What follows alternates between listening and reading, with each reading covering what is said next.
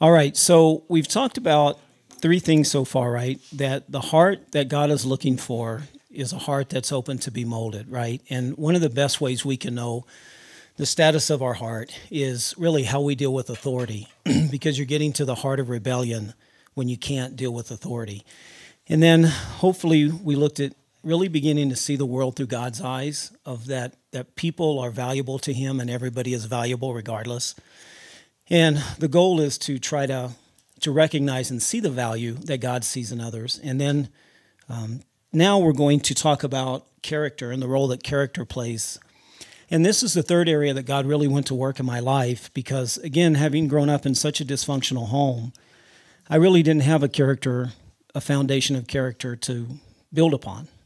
And it's really hard to advance in power and responsibility if you don't have character. And every time I think this is really like a no brainer, somebody does something that surprises me. So, like, we just had a guy arrested in my squadron for soliciting sex from an underage minor. Completely blew me away. Never, never saw it coming. And it's just amazing how many people get taken down by character flaws. Would you agree with me on that one? So, as much as I'd like to say this is a no brainer, I really don't think it is. And it wasn't for me as I continued on. So, I put the blood up here and I put some uh, character traits because the blood, if you think about it, I pulled some cool facts for you. Did you know that blood diseases not only cause a lot of problems, but they can also lead to death if you get a blood infection? Isn't that amazing? What is more interesting is that they are rarely diagnosed in the early stages of development. So it can grow inside somebody until it's too late. Many people live for years, and they're not even aware they face the risk, and the many blood diseases can occur almost asymptomatic, revealing itself only in the later stages of development when it's already too late to do anything about it. Now, doesn't that really parallel kind of how character flaw is? Right? You don't really know you have character flaw some until something comes that challenges you on it. And then by then, for a lot of people, it's usually too late. And the price they pay for that is amazing, and the damage that they get that occurs because of that. So here we go. We're going to look at Proverbs because I learned early on anytime the Bible spends an exorbitant amount of time talking about something, it's probably pretty important, right? The New Testament, God talks about money a tremendous amount, right? We talked earlier with authority. It's a huge theme all the way through Scripture. Well, I think character growth is too. So I gave some people some Bible verses. So if you would, we'll just go down the list. These are just summations, but go ahead. Somebody take Proverbs 1 7. The fear of the Lord is the beginning of knowledge. Fools despise wisdom and instruction. All right. Next. How long, O naive ones, will you love being simple minded? And scoffers delight themselves in scoffing, and fools hate knowledge. Well, next. The wise of heart will receive commands, but a babbling fool will be ruined. All right, next. Whoever loves discipline loves knowledge, but he who hates reproof is stupid. That's one of my favorites anytime the Bible uses stupid. I find it. Next one. The way of a fool is right in his own eyes, but a wise man is he who listens to counsel. All right, a couple more. The refining pot is for silver, and the furnace for gold, but the Lord tests hearts. Someone read 1632 for me. He who is slow to anger is better than the mighty, and he who rules his spirit than he who captures a city. And I think one more. Better is the poor who walks in his integrity than he who is crooked, though he be rich. And so I just took a sampling from Proverbs of, of character, but trust me when I tell you there's a lot more in there about character. And so I think it's safe to assume that character matters to God. And if character matters, then it would stand to reason that would be one of the things we would focus on as Christians, right? Growing our character. Because Proverbs 27 17 says what? As That's right. So it's very clear to me in Scripture that having our character developed and refined over time is a very biblical concept. The challenge I think we get into, the challenge we have as men, though, is most of us don't like to take correction. Maybe you're different, but I don't. When someone corrects me on something, my immediate human response is defensiveness. Maybe you guys are a little different, but I don't think so. I think all men kind of struggle with this area, especially if it comes from people we love, like our wives. Right? That can usually trigger a pretty good argument, at least in our home. But if you think about the refining of or the sharpening of iron, there's four things that occur whenever iron sharpened, right? I got them up there for you. One is the metal is heated really hot, so there's heat. And then you can see the guy pounding on it with a hammer. And then there's sparks, right, that fly. And what's the fourth thing? Friction. Now, if the Bible says that iron sharpening iron is like one man sharpening another, then we can probably, it's safe to assume that when we get sharpened by people we know, what four byproducts exist? Pounding heat, friction, none of which we like. It hurts. Nobody likes to be told that I'm probably not the best dad in the world, or maybe I'm failing as a husband. That's, those are not easy words to hear. But I think they're necessary words to hear if we're going to grow and be used as much as, as God could. So when I was dating Cheryl early on, I was a hot mess. And Cheryl, in a lot of ways, was much further ahead than me in social skills and being able to work a room and everything. So we would go to parties, and I wanted to grow so bad that I would have her make a list of all the things I did wrong at the party. And then on the way home, she would read them to me. And we would go over. well, I wanted to change so much, I was willing to do that. And I liked Cheryl. and of course, I wanted to eventually marry her. So I had some motivation in that. But, and that went on for years that she would critique me on stuff because I'm an auditory learner, uh, listener. Anybody in here an auditory listener? So, one of the problems I have is when you speak to me, my natural inclination is to turn my head. That's what auditory listeners do, but it can be perceived as what? Not paying attention. So, those are the things that I had to work on through my life, just some of the many to learn how to better communicate with people. But it was the same on the character piece, too. So, when I was studying in business and psychology, our counselor will probably appreciate this. When I ran across a guy by the name of Johari, He was a psychologist. And I thought this window of his was probably the most profound thing I'd come across. And remember, I think it was you that was saying truth is truth, right? Regardless of who discovers it. It was our brother who's the counselor. What's his name? Scott. So, what Johari theorized is that humans have four windows in their soul. You have the open area, blind, hidden, and unknown. The open area is easy, right? That's what you know about me, and I know about you. You now know that I'm married. I have four children. My wife is Cheryl. We live in, those are all easy. Where it starts to get complicated is when it starts to get into the blind area. Because that stuff that I don't necessarily know I do, but other people do. And if we were to be honest, don't your friends know you do certain things that you might not be aware of your wife? They just learn how to compensate for it because they don't want to bring it up to you because a lot of times it ends up in a fight. well, that's the blind side. I have a ton of it still to this day.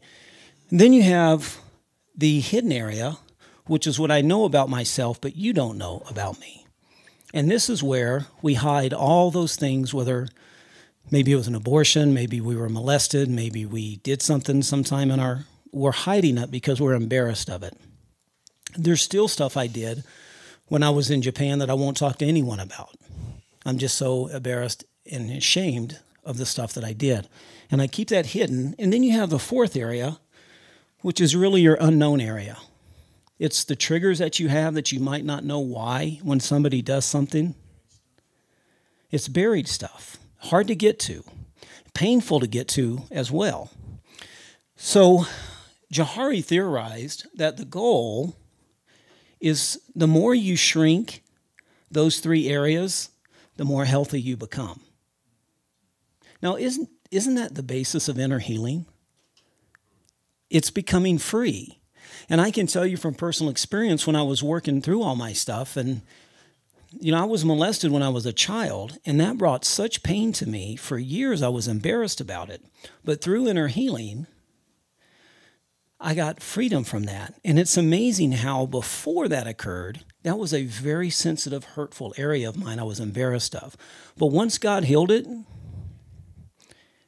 it's really no big deal anymore as far as the pain inside me goes. And so the more open we can become, the more free we are, right? Cockroaches live in the dark. I mean, you've heard all the analogies before when you turn the light on. So I think the question that we have to ask is what? How do we do that? And that's a great question. And I think you do it, we do it by several ways. Number one, up in quadrant two, really the only way you can shrink your blind area is you've got to get feedback from people who love you. And that takes character. Because again, is it easy to be told we're not the stud muffin that we think we are? You see what I mean? It's not easy to hear. but if we don't hear it, how do we ever grow?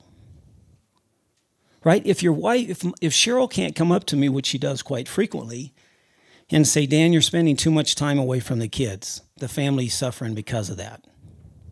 If I don't hear that, and if I don't change, you can know where that's going to take me in five to 10 years. But because I'm open to it, I don't always like it. But because I've always given Cheryl permission to tell me that, I think it's one of the reasons why we have the family that we have. It's because when I spend a lot of time away, Kayla begins to act up, and Cheryl carries a huge burden of it, and it reels me back in. And I start, we start reprioritizing our schedule, and I start spending more time at home. How about others' observations? We do it at work all the time, right? With evaluations, doesn't your boss? What's our motive for getting feedback at work? To get a raise, compensation. But shouldn't it be the motive be to grow and become more like Christ? To become a better man so I can be a better husband. To become a better man so I can be a better father. To become a better man so I can be a better pastor. See, to me, that's the goal. The goal is to become better so that I can be better for God and He can use me in different areas. And then if we slide down into the hidden area, and I'll show you in a second where I think we can work on that, but that really takes friendship and trust. And this is part of the reason why I think men struggle in Bible studies. And I think women predominantly make up the majority of Bible studies in most churches. I know you guys have a very strong men ministry, and I applaud you for that. It's pretty amazing. Most churches that I've been to don't. There'll be one or two men, and most of the people that come are women and females. And I think part of that is because men don't like to share a lot of personal stuff. That's very tough for us as men to do. And so you put me in a circle of eight or 10 people, and you tell me to confide my deep, dark secrets chances are, what? Not only am I not going to do it, I'm probably going to find a reason why I can't come to Bible study next Monday night or whatever the case might be. And then finally, you get over into the unknown area. And if you're not a Christian, I don't know how they do it. I mean, we're blessed because we have the Holy Spirit to reveal those deep, dark secrets to us as He heals us and improves us. But I don't know for the life of me how secularists do it. I don't know where their hope lies to ever get healed from half of their stuff. So, when you think about growing and opening your window, these are the three areas that I think really we have to develop relationships in. And if you notice down here in the left for the blind area, really the only thing we can do is trust our friends and our spouses to tell us the areas that we're weak in. That's it. Who else is going to love you enough to tell you? In a way that is truly has your best interest at heart. But we have to become people that are open to it and actually seek it out. Because the time to be a good father is not when your kids are grown, right? It's during the process of raising them. The time to be a good boss is when you're supervising and when you're actually doing it. It doesn't do any good if you've been retired for 20 years and then you figure out, man, I could have been a wonderful boss. And then you have the hidden area. Really, I think you need cell friends in scripture for that because to reveal the things that are really embarrassing to you, what does that require? A tremendous amount of trust. Because I have to trust you that you are not going to go blabbing that to somebody. And I tell you, that's another thing I think men struggle with is trusting other men to keep secrets, which is why a lot of men, I think, suffer in silence with this stuff and weakens our character and ultimately weakens our walk. And then finally, the unknown area, excuse me, is really only the Holy Spirit can do that. And that's an area of my life that I still don't feel like I've made much progress on. Because as far as I've grown from when I was a child or a teenager, I still struggle with anger issues. I still have very little patience sometimes for my kids. And those are things that I'm working on. Uh, and I just, I'm grateful that in God's grace, He protects my children from the damage that I could do to them. Sometimes when I have my volcanic eruptions because daddy's tired and it's been a very stressful week. So, anyway, I think when we get ourselves in trouble is when we begin to isolate and we only rely upon one of those three pyramids. Right? Do you hear people say, Well, I feel the Lord is telling me to do this. Has anyone, you ever heard anyone say that? That's good, but what can it also be? A lie can be very, very destructive. And I can remember going to uh, singles groups, and you know how in singles groups they're like, yeah, the Lord told me I'm going to marry this guy. And then six months later, they break up. And what do they say? The Lord told me to break up. And it used to puzzle me. I'm like, how does that happen? Maybe he changed his mind. So, this is why it's so important not to neglect the friendships and the relationships of other brothers is because it's all we have to depend upon sometimes to keep us straight between what we feel the Lord is telling us or even what we read in Scripture. It's always good to have all three. And I think a healthy growth is when all three of those are strengthened and present in our lives. So here we go.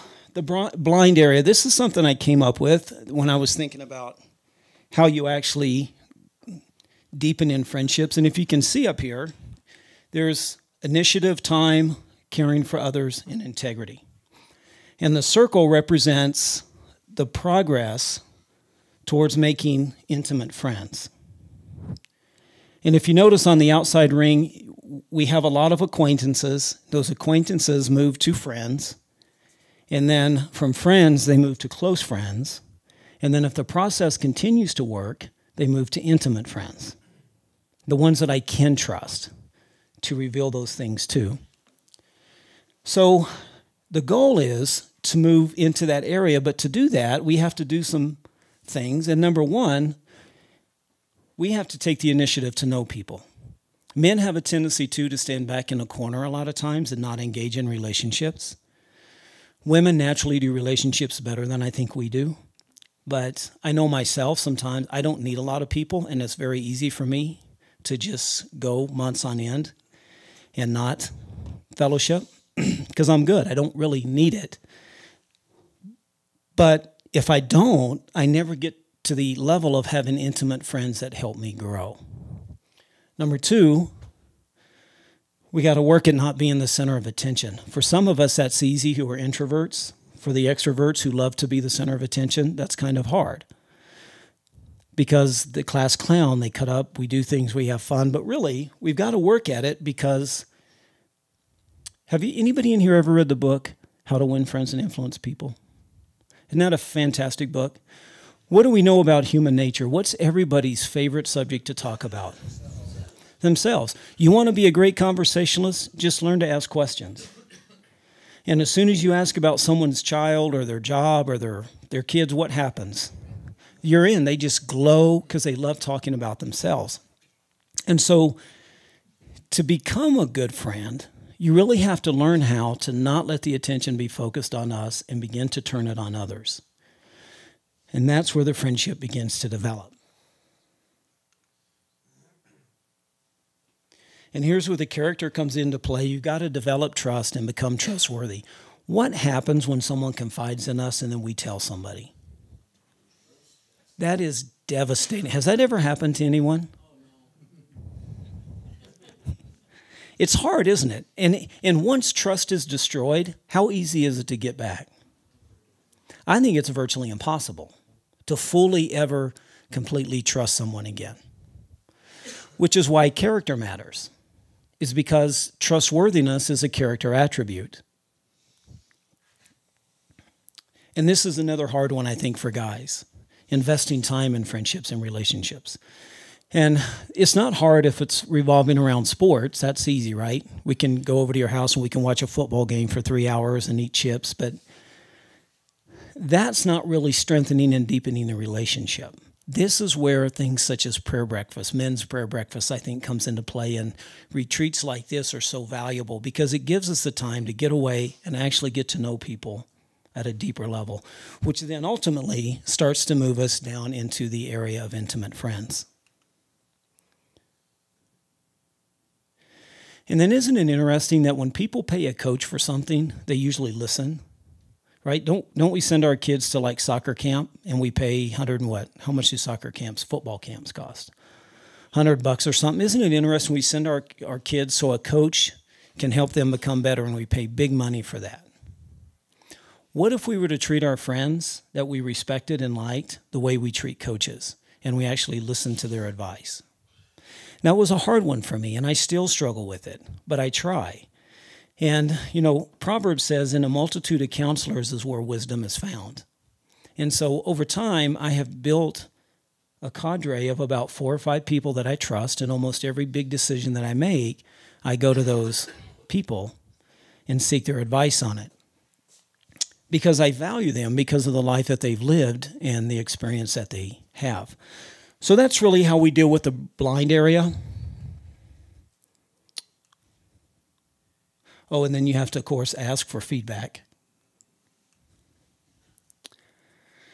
So the hidden area, this also gets to what Scott was talking about today. You know, we don't like to be alone with our thoughts very much. Have you noticed that about society today? When most people are in the car, what are they listening to? Radio, music or talk radio when they're out at the park, what are they doing usually? Checking their phone. We don't do well as a society anymore of getting alone with our thoughts. And I know for me, part of the reason, the big reason why I didn't like to be alone with my thoughts is I didn't like where my thoughts took me. It was just nothing but hurt, past, and all the bad stuff that I like that I didn't like. And so it's easier to drown that out. The problem is if you're never alone with your thoughts, when do you really get to start working with the Holy Spirit on those thoughts and the hurts and the wounds?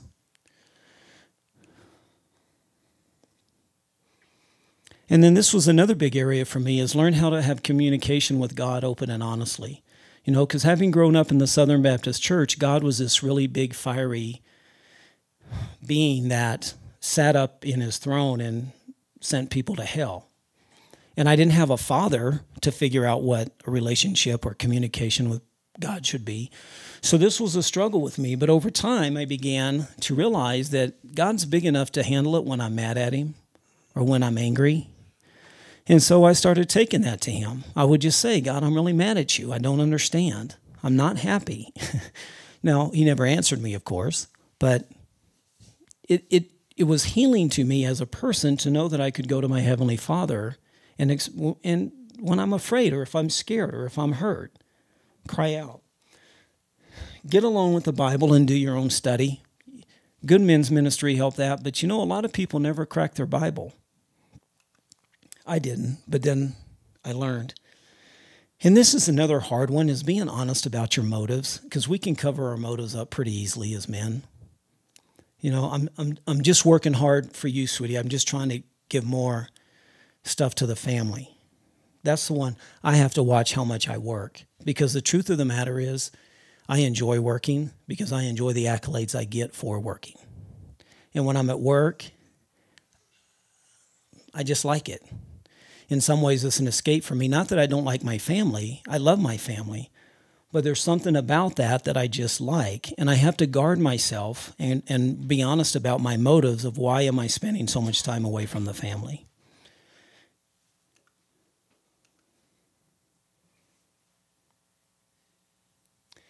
And then the last one I'll touch on is work at learning the difference between condemnation and conviction, because there is a big difference, right?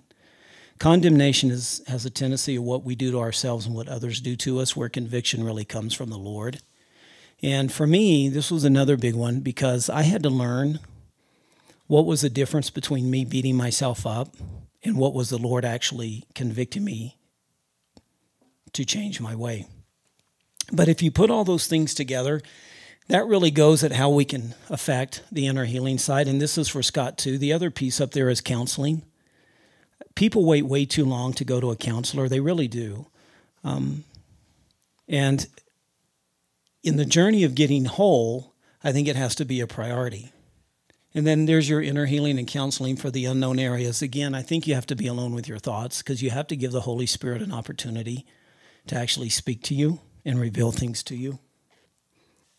And then the last one I'll touch on is five. You really, I, for me, I just ask God to change my character. That's what I asked Him to do for me. Give me wisdom and change my character. Because I, I growing up in the South and in, in such a hypocritical environment, the last thing I wanted to do was be a hypocrite anymore. And I didn't want to just pretend like I was happy. If you see me happy, it's because I'm genuinely joyful in my spirit. If I genuinely love people now. It's why I do half of what I do at work and other places and mentor is because God changed me into a person that genuinely loved others because I didn't like other people for a long time. I was very self centered.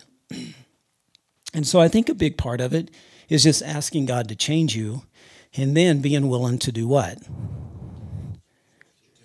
Do it and feel the heat, the sparks, the friction, and the pounding that it takes to grow. And I do think this is why uh, we I think this is why a lot of Christians are frustrated with their walk is because what is the one thing we always avoid?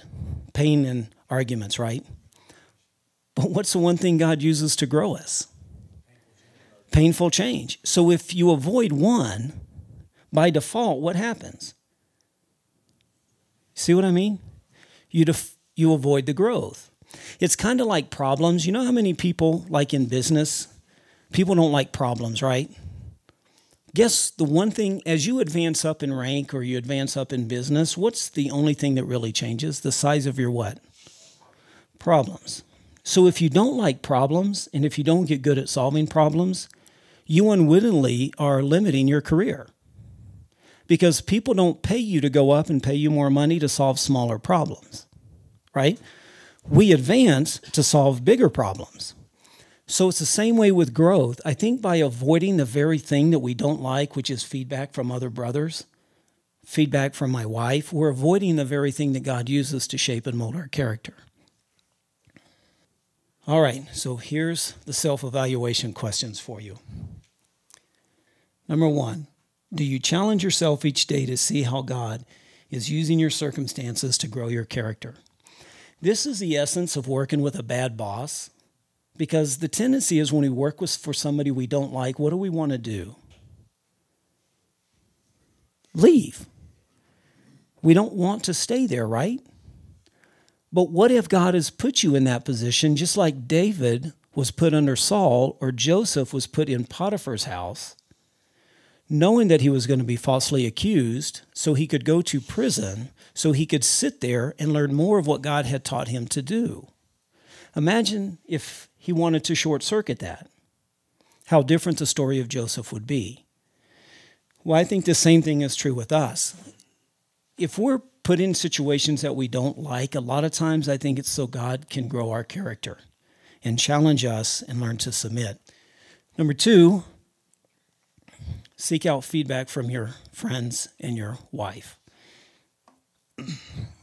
I even try to seek feedback from my daughters and my children. Um, because sometimes children are some of the most truthful truthful people on the planet and a lot of the kids you know your children sometimes don't want to tell dad the truth because they're afraid of the response But that's a very deadly cycle, I think, to get into. And so this is one of the areas I work with on my children is trying to get them to tell me how I'm doing in certain areas. And I, I think for Cheryl too, it's pretty easy for me now. And then last one, do an honest assessment of how you respond when people give you feedback. How do you take it? Do you try to apply it? Or do you justify it away? And it's just doing an honest assessment of it. I'm not because this this is just what I think God uses a process. This is how the process works. And so if we want to grow to be used by God, we must let God go in and work on our character. And really it's just a matter of being honest with ourselves and doing assessments. And finally the application step I'd tell you